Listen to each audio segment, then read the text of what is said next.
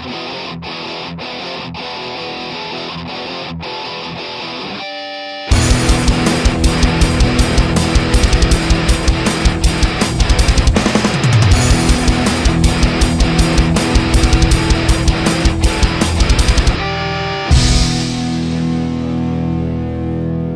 y'all, it's Heel Heat time. Hi, everybody, and welcome to Heel Heat. My name is George Coles, and this is our TNA show for the week. First off, we're going to start off in the so so segments. The stuff that wasn't good wasn't bad, it was just there. Uh, we start off with the opening segment of the night Kurt Angle coming to the ring, calling out Willow, then asking Willow if Jeff Hardy could come out and play, basically. Angle I like, Willow the character is so dumb. I wish it would just go away. Maybe this is a way for them to transition it back to him just being Jeff Hardy. I hope so, but it's made for a kind of meh segment to open the show with. Next up, the uh, segment with Bobby Roode, MVP, Kenny King attacking when Bobby Roode's trying to get to MVP which leads to Eric Young coming out to even the score, which leads to Lashley coming out to give the bad guys the advantage again. The reason it falls in here is because I feel like every time I watch this, I'm in I'm on Groundhog's Day, because like deja vu over and over again with, with this segment and these same players doing the same thing it's kind of redundant, repetitive. Give us new ways for these guys to meet up. Um, I quite like the Bobby Roode Ken, Kenny King street fight. I believe it was either last week or the week before. You know, just give us something more that doesn't feel like okay. It's part of the formula. We're going to start the show off with an interview. We're going to have uh, bad guys outnumber the good guys beat down here. And that's the reason I, I was like, you know, okay, I don't, that's the reason why I didn't particularly care for this. It's just another cliche that we have on the show. Now, coming off of that, we're going to go into our bad portion of the night. Luckily, there was only one thing that fell into the bad portion, and that was a four-way knockouts match Madison Rayne versus Brittany versus Angelina Love versus Gail Kim. Now, normally, as you guys all know, I'm a proponent for the knockouts in women's wrestling in general. I see, I quite enjoy it. However, this became an overbooked clusterfuck and really just took away from the action in the ring, in my opinion. Uh, too many wrestlers, not enough time fatal four ways or four ways or whatever the fuck you want to call them kind of it doesn't give quite the shine that a, a three-way or even a conventional one-on-one match would do. The only thing it's good for is the action keeps pretty solid. However saying that that leads to a lot of train wreck moments a lot of botches a lot of people going where they're not supposed to go. And to me, this just didn't connect, even with Gail Kim picks up the win on it, but just a weirdly out of place match and a one on one match with any of the three and Gail Kim would have been better than, than this in my opinion. Next up, we're going to go to our question of the week from last week. The question was, who do you think is the greatest ref of, referee of all time? Got some answers from our friends, first from Zombies 40, Earl, without a doubt, I can honestly recall. I can. I honestly can't recall other refs that are as known or were, the most notorious angle in wrestling history like Earl was. Earl referring to Earl Hebner, of course. Next is from uh, Jay Baker, 1138. I'd have to say that Earl Hebner would be the best ref ever, simply because of the fact that when I think of referees, he's the first one that comes to mind. I'd like to disagree with you guys, but I think Earl Hebner's right up there. He's if he's not the best, he's one of the very short, one of the few on the short list. Uh, a couple others I'd like to mention though. would be Charles Robinson and Jimmy Korderas. Charles Robinson had a couple little weird angles, like the little Nature Boy angle in WCW, but all in all, has been a solid ref. Jimmy Cordera is a guy that really you hadn't heard much bad or good about, and mostly that's what a ref should be. They should be just there and not part of the action. Now we do see sometimes that they're involved in the angle. Obviously, Earl Hebner, guys like Tim White, guys like um, Rudy Charles have been involved in the, in the action in the past. Like I said, with Little Nature Boy, he was part of an angle. So I, I understand that they are used at times, but Jimmy Cordero is just a solid guy that, you know, I think doesn't quite get the credit he deserves. Earl Hebner, I think, is the best, but just to give them guys a shout out as well. Now, coming off of that, we're going to go into the question week for this week.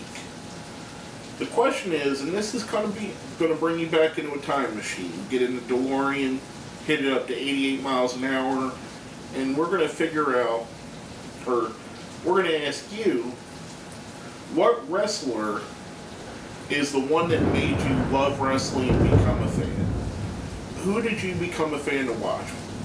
Whether it was in the Attitude Era with one of the big guys like Austin, Rock, Triple H, if you were a WCW fan because of Sting or Ric Flair or Vader, if you go back further, like you were a Hulkamaniac, or even further than that, you believed in Nick Bockwinkel or Bruno Sammartino, or you just started watching wrestling because guys like Samoa Joe or Bob, Bobby Roode or Randy Orton were some of the newer crop.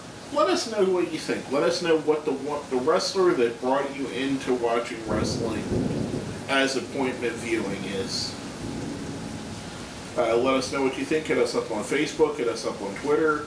Put it down where? Down there in the comments. And while you're at it, hit the like button and share button as well. Get our get the word out there for us on Heel Heat so we can get more followers and more views, please. Now, coming off of that, we're going to go into our good segment of the week. First thing I want to mention is the team of Magnus and Bram versus the Wolves.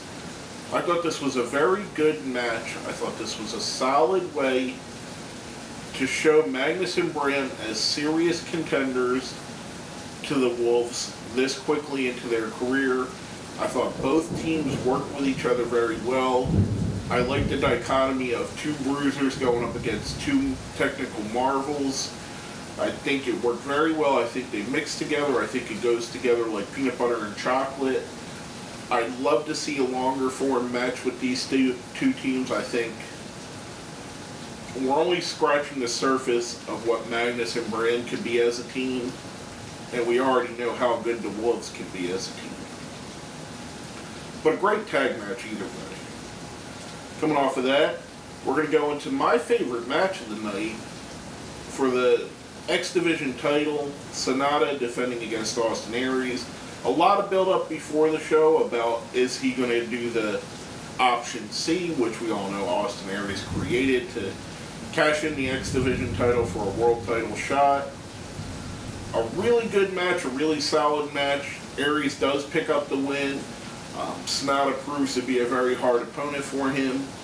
I think this is this is the one of the even in a loss. I think this is going to be one of those when we look back at three or four years, one of those star-making moments for Sanada that he could ha- hang and have a great match with a guy like Austin Aries. I think this is really going to help him further in the way the fans perceive him, including myself. Coming off of that, we had the, the segment with Bully Ray calling out Rhino, which Rhino brings out Ethan Carter III and Rockstar Spud. Bully Ray wants to know why one of his good friends has turned on him. Uh, Rhino says it's because he's a narcissist. He he's a user. He uses people. They get into a little bit. The three three people attack Bully, which brings out Tommy Dreamer from the crowd with a kendo stick, chasing off the bad guys. Now you're going to ask me why I thought the so-so segment with Roode and MVP's group and Eric Young, but I thought this was good. Very simple. This is early on in the rivalry between Bully Ray and Rhino. You're tying Bully Ray and Dreamer in together as two people we know are good friends against the common enemy. You're giving us a little explanation as why Rhino and Bully Ray are fighting. So to me, this is a feud builder instead of a placeholder, if you understand what I'm saying.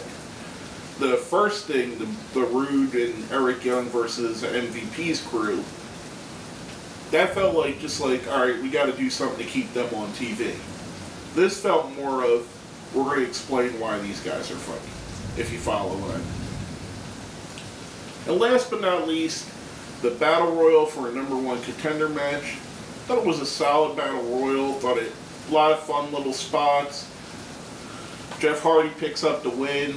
A good way to end the show and a good way to give us a new contender for the world title. I thought it's uh, without giving someone that's feuding with them a title shot. I thought it was a cool way to do it. We're going to see next week Jeff Hardy versus Bobby Lashley for the world title. So I thought it was cool. I enjoyed it. I thought it was a good battle royal. Like I said, a lot of fun little spots on the show, on the battle royal itself. But coming off of that, we're going to go right into our ratings. Now, if you've seen the show before, or even if you haven't, you know we have we have a one to five scale. One being the worst, five being the best. One's a Dixie Carter, two's a Rockstar Spud, three is a Gunner, four is a James Storm, five is a Bobby Roode. And we do the show a solid three, a Gunner. Honestly, there was a lot of just mediocrity. The the four way match was pretty bad. Uh, the two segments I mentioned in the so-so portion were very mediocre and lost lost a lot of my interest. The only thing saved it from being bad was certain people being in it. The good matches were good. Um, as much as I praise the Battle Royal for being a good thing, it was what it was. It's a Battle Royal. It's not a one-on-one competition. It's not a Battle Royal's never going to win a five-star match. Yeah, they could be fun. Yeah, they could be exciting. Yeah, they could be cool. But would I rather have seen, I don't know, just to throw out two people that were in there, Jeff Hardy versus Robbie E. Or not Robbie, I'm sorry, he wasn't in there. Jessie Godderz. Jeff Hardy versus Jessie Godderz in a, a competitive number one co- contender match.